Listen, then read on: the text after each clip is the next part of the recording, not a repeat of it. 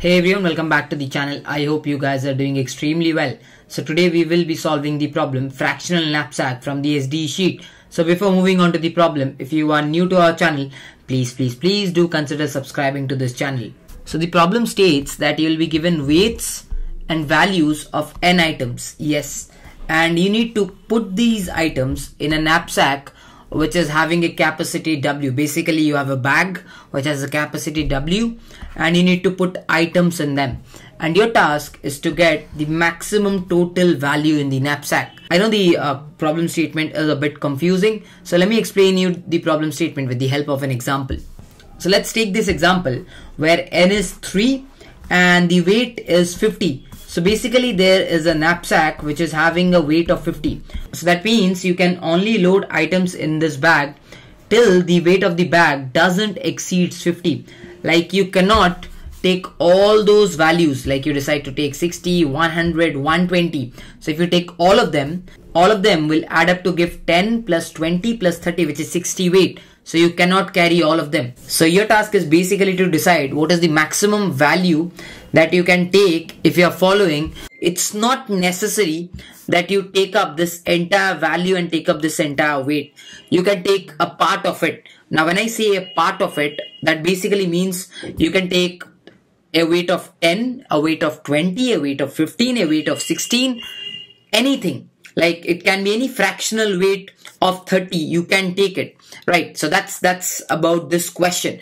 So over here the best thing to do will be to take this completely. That is I'm taking a weight of 10 which will give me a value of 60 then I decide to take this guy completely which is having a weight of 20 and that's going to give me a value of 100 so these two guys are adding up to give me a weight of 30 so I still have 20 weight left. So what I decide is I take 20 weight of this. So I know 30 weight is giving me the value 120 so one weight will give me the value 120 by 30 so uh, 20 weight will give me the value 120 by 30 multiplied by 20 which is apparently nothing but 80 if you carefully do the multiplications you'll get the total weight of 80 so if I fill our knapsack by picking up weights the total value that I can collect is 240 and this is the maximum possible answer. So the task of the problem is basically to print what is the maximum value that is possible. Over here it's 240. Now since Unacademy has sponsored this video, let's talk about them. So we all know how important it is to have a great teacher. I guess that's why you guys come to my channel to learn. So Unacademy has onboarded some of India's best educators. So to name some of them, I can go with Sanket, I can go with Pulkit, Tanuj, Deepak, Kriya, Utkarsh. Now all of these guys do work at top product based companies. Along with that, they're really high rated at CodeChef and Codeforces a lot of us are watching the roadmap videos and that's great.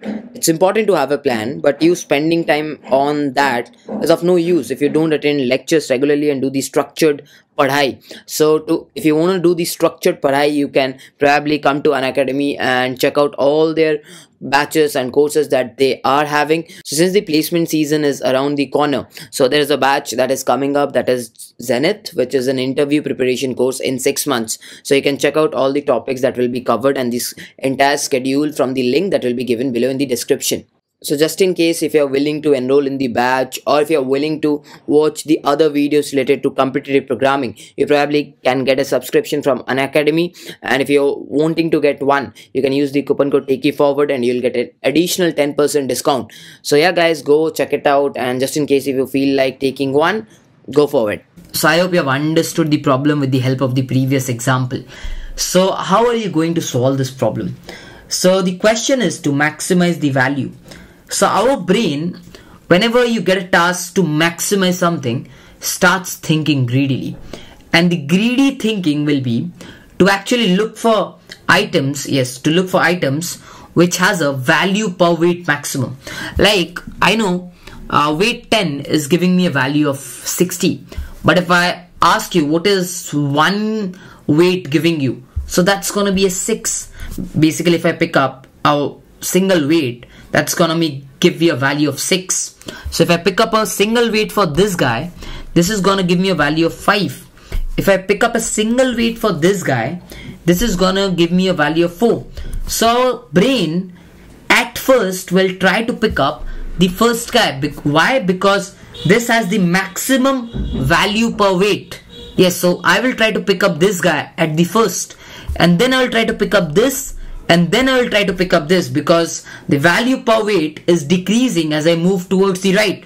Now in this given test case, uh, it looks as sorted, but you might have test cases where the value per weight is not sorted. So the first step to solve this problem will be to sort the items in respect of value per weight because that is very important. That helps you to decide which is the first element that you pick up. Now what is your knapsack weight? Your knapsack weight is basically 50.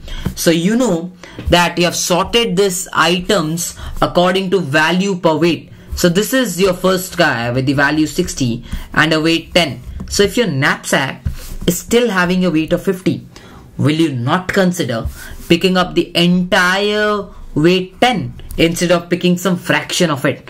Yes, we will because that will enable us to increase our value to a higher level. So I decide to pick the entire weight and I know if I pick up the entire weight, I'm gonna get a value of 60. So probably you can carry a counter or a variable to add up these values because we require the summation of the values at the end. So after this, what I can do is I can go to the next guy. Now this guy's value per weight is 5. So will it be good enough to pick the entire guy? Yes, it will be good enough because I know towards the right, the value per weight will be even lesser. So why don't I pick up this entire guy and get the entire value? Because that will help us to increase our value much more. So let's try to pick up this entire guy. And that's going to give me a value of 100. After this, when I go to the next guy, again my tendency at first will be to pick up this entire guy. Yes the entire 30 weight. But can I? Can I? I've already picked up a weight of 30 and my knapsack had 50 weight. So if I do 50 minus 30 the remaining weight will be 20 but I cannot pick up 30 because our knapsack can only permit a 50 weight. So what I do is I decide to pick whatever is left so my knapsack does allow fractional elements to be picked. So I have a weight of 20 left. So what I do is of this third item, I pick a weight of 20.